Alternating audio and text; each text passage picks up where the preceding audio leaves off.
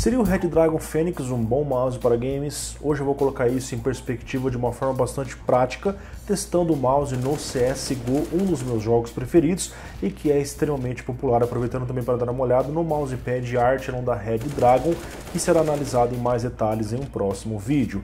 O Fênix é um mouse posicionado em um mercado intermediário, um pouco melhor que os mouses de entrada e não tão caro quanto os topo de linha, embora toda essa definição nem sempre faça sentido.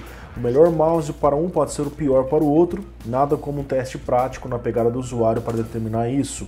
Equipado com sensor Avago 3050 ótico e suítes on-ROM com estimativa de 20 milhões de cliques, o Fênix promete alta velocidade, alto controle e alta resposta. Eu escolhi as configurações ideais que eu estou acostumado a jogar, DPI baixo, 1000 nesse mouse e sensibilidade padrão em CSGO e o Fênix saiu bem, não tive dificuldades para fazer movimentos bruscos ou mirar precisamente nos momentos oportunos. Conforme o aumento de DPI, aumenta também a minha dificuldade para mirar precisamente em movimentos rápidos rápidos, ressaltando que muitos já sabem acerca do DPI alto, exceto, é claro, se você for um robô e conseguir fazer esses movimentos e ainda assim ter bastante precisão. É claro que tudo depende da situação. Um usuário no setup com multimonitores ou resolução mais alta que Full HD pode se beneficiar de DPIs maiores em atividades na área de trabalho, por exemplo, eu, em meu caso, procuro encontrar um equilíbrio entre 800 e 3200 de acordo com o mouse. O mouse mede aproximadamente 12,7 cm de comprimento,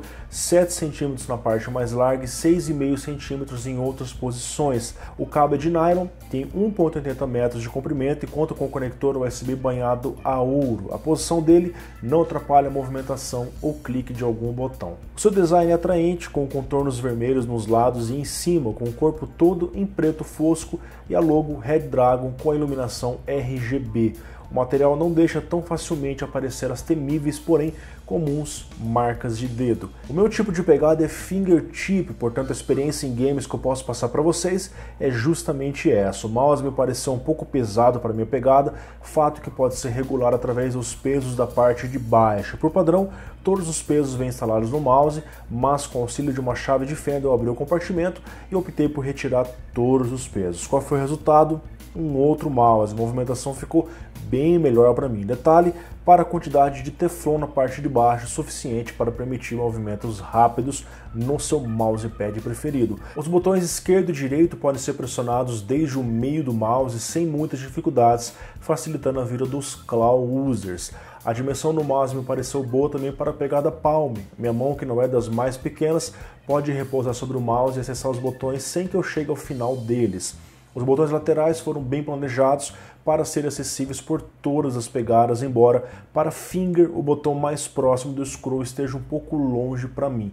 De qualquer forma, eu nunca utilizo nenhum tipo de botão lateral, incluindo os famosos botões sniper presentes em alguns mouses. Novamente, é tudo muito subjetivo. Todos os testes estão sendo conduzidos com a minha mão direita, mas a Red Dragon alega que o mouse também pode ser usado para canhotos. Isso faz sentido, afinal o mouse é exatamente igual dos dois lados, sem detalhes específicos. Ao todo são 11 botões. Na face superior do mouse nós temos o botão esquerdo e direito, clique do scroll, botões para aumentar e diminuir a DPI e o botão para ajuste de iluminação.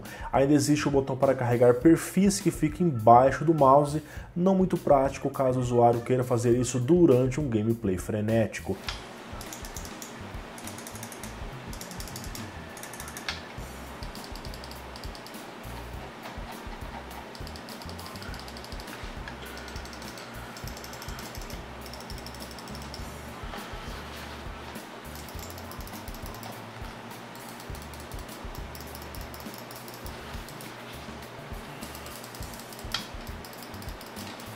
Nesse teste prático, veremos como o mouse se comporta quando eu tento seguir uma trajetória em linha reta com velocidades alternadas. Se o mouse força o cursor a seguir uma linha reta e ignora os pequenos movimentos não lineares que são normais, é dito que o mouse tem um indesejável angle snapping, também conhecido como prediction ou simplesmente correção de trajetória. Em CSGO e MS Paint, vemos que o mouse não faz a correção de trajetória ponto positivo para ele. Ainda no MS Paint veremos o quanto de jitter ocorre conforme o aumento de DPI no Fênix. O primeiro teste é com DPI mais baixo, perfil pré-definido de 500 DPIs, onde geralmente os mouses se saem bem. O resultado é bom, sem distorções. Em 1000 o resultado ainda é satisfatório, até 2000, que é o limite do sensor, o resultado é aceitável, porém já notamos as distorções. Em 3000 e 4000 aumenta muito a ocorrência de jitter e o rastreio fica ruim. No teste de aceleração, veremos como o mouse se comporta quando nós deslocamos ele rapidamente ou lentamente de um lado para o outro.